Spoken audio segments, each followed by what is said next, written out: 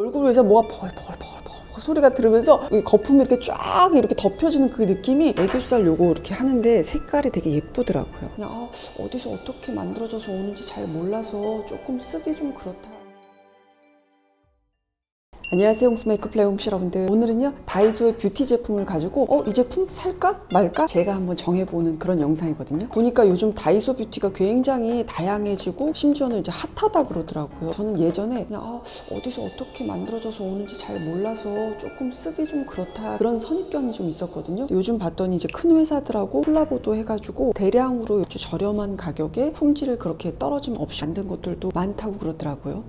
가서 이제 요거 저거 제가 한번 좀쫙 골라봤거든요. 정말 다양하고 많더라고요. 자, 지금부터 영상 한번 시작해 볼게요. 어, 다이소 요 beauty템 사? 말아?. 자, 첫 번째는요. 태그의 dewy skin 쿠션. 컬러는 02번을 선택을 했고요. 이 태그 같은 경우는 투쿨 포스쿨이 만드는 그런 브랜드거든요. 그리고 이 중에서 저는 dewy 그래서 촉촉한 그런 쿠션 한번 선택을 해봤어요. 가까이 한번 보여드릴게요. 약간 이 컬러 같은 경우는 핑크감이 살짝 있어요. 그냥 화사한 정도로 적당한 정도로 촉촉하게 이렇게 피부가 표현이 되더라고요. 그리고 그 피부 위에 올렸을 때도 착붙으로 얇게 밀착이 돼서 되게 좋았거든요. 근데 제 선입견인지는 모르겠는데 살짝은 뭔가 되게 잘 만들어진 그 촉촉 쿠션에 비해서는 뭔지 모르게 입자가 아주 미세하게 조금 덜 고운 느낌? 근데 이렇게 좀 정성을 들여서 판판판판하게 이렇게 피부 안에 쫙 얇게 밀착을 시키면 어, 꽤 괜찮더라고요. 5,000원에 요 정도 쿠션? 어, 괜찮다. 요거 사도 좋다. 자, 두 번째 역시 태그 제품 가지고 왔거든요. 확실히 그 투쿨포스쿨이어서 그것도 shading 제품을 이렇게 내놨더라고요. 제가 가지고 온 컬러는 누드 베이지예요. 스틱 타입으로 돼서 블렌딩해서 쓰시면 되는데 자, 이렇게 보시면은 보통 나오는 그 shading 스틱 제품들이거든요.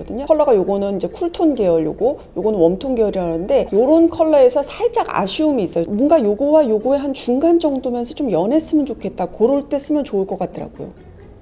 이 가운데 있는 게 태그거든요. 딱 그 정도의 그 needs를 가지고 있는 색이어서 이거는 보자마자 이 컬러감하고 잘 문질러지는 그 블렌딩감 그거 때문에 이거는 어 사자. 자 이번에는요 겨울이면은 촉촉하게 하려고 multi 스틱들 하나들 가지고 있으면서 또 이렇게 바르잖아요. 다이소에도 갔더니 이게 딱 있더라고요. 이거는 랩 팩토리의 multi balm 진정 스틱. 병풀 추출물 함유한 뭐 수분감도 주고 진정도 시키고 그런 스틱이거든요. 써봤는데 괜찮아요. 이렇게 바르면은 이렇게 수분감이랑 이렇게 주긴 주는데 어 요거 가격을 봤더니 5,000원이거든요. multi balm마다 여러분 그거 아실 거예요. 그 갖고 있는 성분도 다르고 그 촉촉한 윤기를 주는 정도도 굉장히 다르거든요. 근데 요거 같은 경우는 네 맛도 내 맛도 아닌 그런 조금 애매한 그런 느낌의 그런 multi stick이었어요. 근데 5,000원? 어 그렇다면은 아, 다른 제품에 좀 손이 갈 수 있을 것 같아요. 그래서 이 제품은 말. 자, 이번엔요. 입큰의 tone correcting base lavender. tone-up 크림이라고 생각하시면 될 것 같아요. 라벤더 색이니까 얼굴을 좀 더 화사하게 해주겠죠. 적당한 정도의 묽은 크림 정도의 느낌이에요. 그리고 꽤 부드럽게 이렇게 되게 발려요. 발림성이 상당히 좋았고요. 그때는 이 정도의 이런 톤업이에요. 근데 약간 제가 써보니까 조금 이렇게 정신없이 펴바르게 되면은 살짝 컬러감 조금 겉도는 느낌? 그런 느낌도 살짝 제가 받긴 받았거든요. 근데 이것 역시 조금 더, 더 꼼꼼하게 찬찬하게 그렇게 펴바르면은 별 문제는 없을 것 같아요. 입크는 뭐 원래 오래된 브랜드여서 3,000원에 이 정도의 컬러 베이스 괜찮다.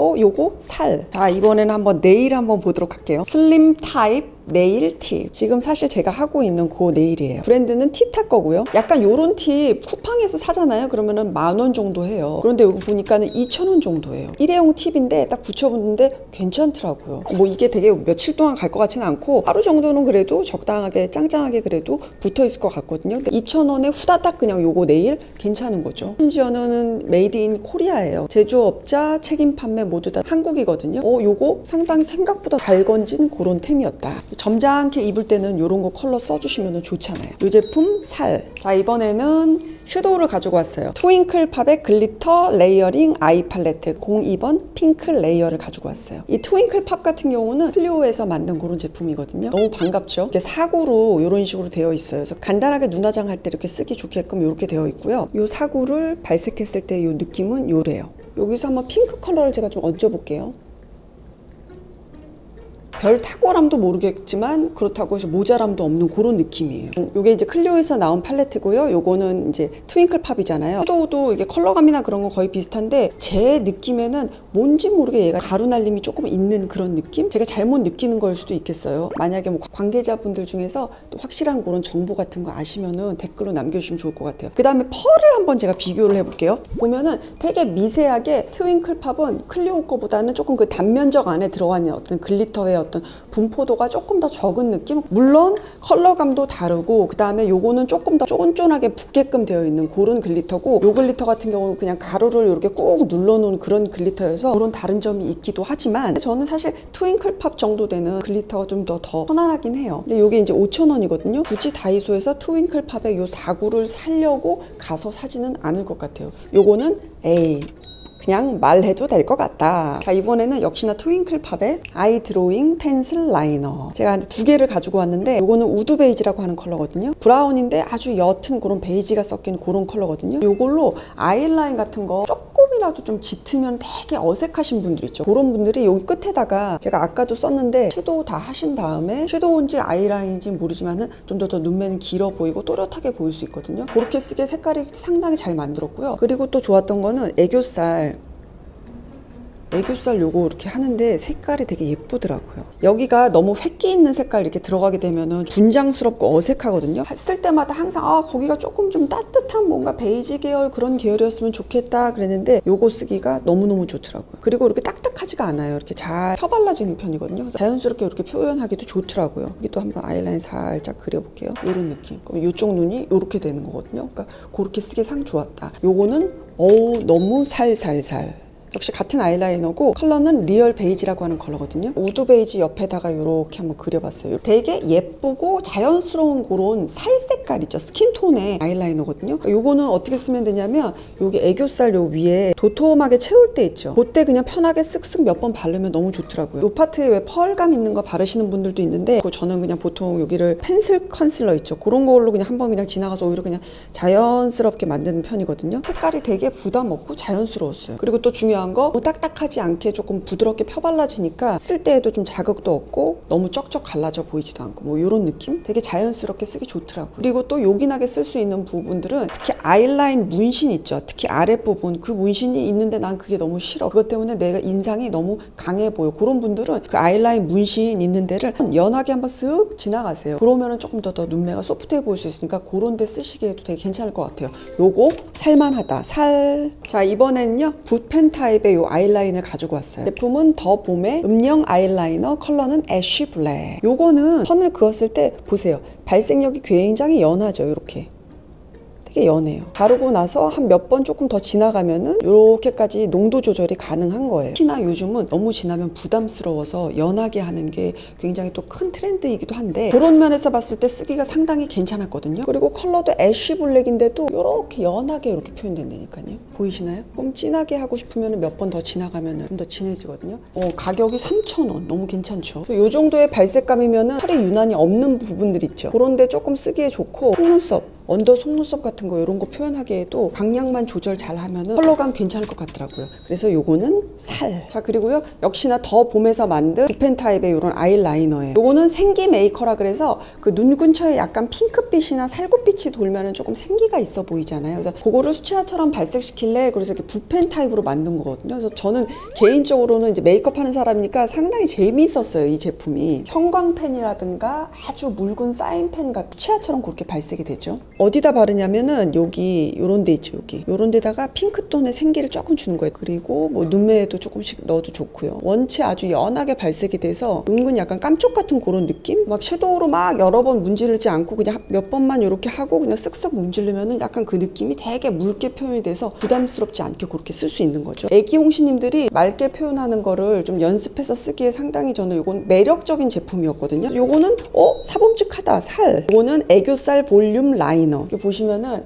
살짝 아주 살색 있죠? 살색을 이렇게 띄는 붓펜 liner인 거예요. 아이디어가 저한테 굉장히 번뜩번뜩 되더라고요. 그래서 쓰는 거는 아까 여기 도톰이 쓴 것처럼 여기다가 여기다가 살짝 이런 식으로. 그러고 나서 제가 조금 문질러 줄게요. 부담스러울 수 있으니. 영상으로서는 막 그럴듯한데 blending 안 시키면 조금 부자연스러울 수는 있어요. 문질 문질해서 쓰면은 뭐 그럭저럭 괜찮은 제품이었어요. 근데 요거는 애기야 홍시님들 위주로 그렇게 쓰시면 좋을 것 같아요. 홍이모를 위해서는 말. 자 이번에는 눈썹 칼을 가지고 왔어요. 다이소에는 예전부터는 소분하는 그런 컨테이너들, 도구들 같은 거 그런 거는 쓸만하다라고 예전부터도 생각했었는데 지금은 또 더 업그레이드가 됐더라고요. 두 개를 가지고 왔는데 아주 욕이 나더라고요. 바로 보여드릴게요. 자 첫 번째는 엄청 조그만한 칼날이죠. 아주 미세한 데 있죠. 그런 데는 칼날이 길게 되면은 내가 하려는 위치보다 너무 다 길게 되면 다른 데도 깎이잖아요. 근데 그거 없이 그냥 어 요거 요거 한 올만 딱 없애고 싶어. 정말 조금 조금씩 이렇게 쓰기에 꽤 괜찮더라고요. 요것도 너무 아이디어 면에서 너무 좋아서 요것도 살 그리고 이 제품 일단 shape이 되게 특이하죠. 이렇게 잡고 슥슥슥슥 눈썹 밀으셔도 좋고요. 인중에 있는 털 같은 거 또는 여기에도 털 많으신 분들 계세요. 그립감도 좋고 또 잡아서 shaving 하기에 되게 편하더라고요. 요것도 어 꽤 살살살 할만하다. 자 이번에는 속눈썹을 가져왔거든요. 다이소 속눈썹 쓰시는 분들 굉장히 제가 여러 번 봤는데 정작 제가 한 번을 제대로 못 써봤는데 이번에 보니까 어 요거 참 쓸만하더라고요. 속눈썹 쓸때 자연스럽게 보이는 게 저한테는 굉장히 중요한 기준점이거든요. 너무 괜찮은 거예요. 가운데는 7mm 정도 그리고 양 끝은 한 4mm 정도 되는 그런 아이고 자세히 보시면은 블랙모로 된 것도 있고 이렇게 갈색모로 된 것도 있거든요. 선명한 거 싫으신 분들은 자연스럽게 쓰시면 좋고 요, 요 위에 있는 속눈썹 같은 경우는 요 인조 속눈썹의 요 대를 한번 보세요. 대 보시면은 투명으로 되어 있죠.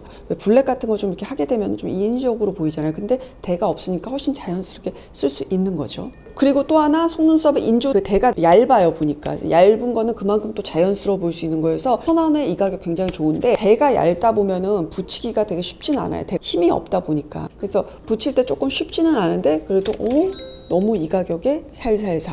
자, 이번에 다이소 갔더니 스펀지들 굉장히 많더라고요. 퍼프하고. 제가 가지고 온 거는 물 먹으면 커지는 물방울 퍼프. 저도 이제 물방울 퍼프를 워낙 많이 이것저것 여러 브랜드 걸 다 쓰다 보니까 역시나 눈이 가더라고요. 근데 봤더니 가격이 천 원이에요. 웬일이에요. 제가 물을 살짝 먹여서 써봤는데, 어, 밀착감이라든가 피부 표현은 좀 괜찮더라고요. 쓰기에 별 불편함이라든가 문제점 없이 그럭저럭 괜찮았어요. 자, 그런데 쓰는 퍼프에 대한 대- 제 생각에 그 정리가 좀 있는데, 일단 이 물방울 퍼프 같은 경우는 빨아서 쓰는 거거든요. 쓰고 버리는 게 아니에요. 물론 뭐 천 원짜리니까 쓰고 저는 몇 번 쓰다 버릴래요. 뭐 그러실 수도 있는데 원래는 요거는 세척해서 다시 쓰고 다시 쓰고 일정 기간 동안 좀 쓸 수 있는 그런 아이템이잖아요. 그래서 물방울 퍼프 정도는 다이소에서 천 원 하는 거 그거 쓸 바에는 돈을 조금 더 주고라도 좋은 퍼프를 선택해서 그냥 오래 쓰는 거 그거를 선택할 것 같아요. 저를 위해서는 말말. 아, 요거는요 약간 특이해서 제가 사봤거든요. 버블 톡톡 마스크. 이 마스크의 용도는 뭐냐면 이렇게 딱 쓰고 나잖아요. 그러면은 조금 있다가 버블 버블 버블 거품이 막 일어요. 한 10분 정도 놔두게 되면은 거품이 전체적으로 얼굴 위에 이렇게 쌓이거든요. 팩을 딱 떼어내면은 피부 안에 있는 그런 노폐물이라든가 피지 같은 게 그렇게 제거되는 그런 원래 마스크팩이어가지고 하고 나면은 뭔가 좀 얼굴이 이렇게 말개지는 그런 느낌이 좀 들긴 들더라고요. 근데 요거 썼는데 기분이 나빠.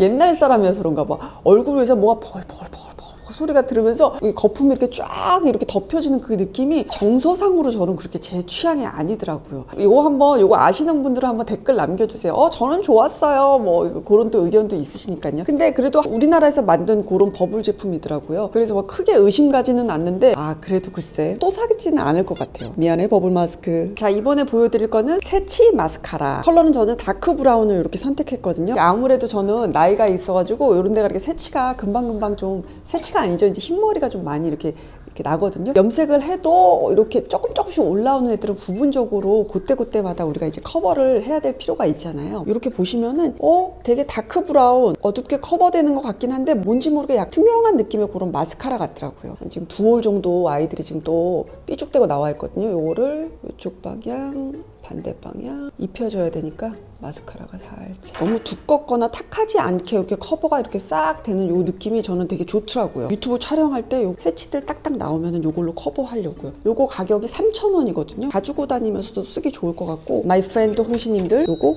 살살살. 자 이번에는 마지막 제품이 될 것 같아요. 액체를 넣으면은 이렇게 거품 버블을 막 이렇게 만들어내는 그런 용기예요. 다른 영상 보니까 그 다이소 가면은 사라고 하는 그런 아이템 중에 하나여서 보여가지고 제가 샀거든요. 클렌징 그 워터 같은 것도 쓰시는 분들 굉장히 많잖아요. 클렌징 워터를 이렇게 바로 쓰게 되면 어, 좀 차가운 것도 좀 있고 그리고 클렌징 그 워터 같은 경우 또 금방금방 쓰잖아요. 그래서 그럴 때는 거품 용기 안에다가 그거를 넣어서 퐁퐁퐁 하면 거품으로 이렇게 나오게 되니까 피부가 느끼는 그런 자극도 덜하다 그러거든요. 조금 피부 예민하신 분들은 화장솜 같은 거 쓰실 때 거품으로 만든 그걸로 화장솜으로 한번 지워주게 되면은 피부에 부담감이 적으니까 쓰기 좋을 것 같아요. 저도 요거 마음에 들었어요. 요거 어 살만하다 살살살. 네 홍시님들 오늘 영상 여기까지고요. 재밌게 보셨나요? 오늘 영상의 기준은 어디까지나 제 개인적인 취향이었다는 거 다시 한번 말씀드리고요. 제가 조금 놓쳤던 그런 정보 아시는 분들이 있으면은 공유도 해주시고 어 나는 어떤 거 써봤는데 그거 참 좋더라 그런 것도 좀 공유해 주시면 좋을 것 같아요. 다음 시간에 만날게요 여러분. 안녕.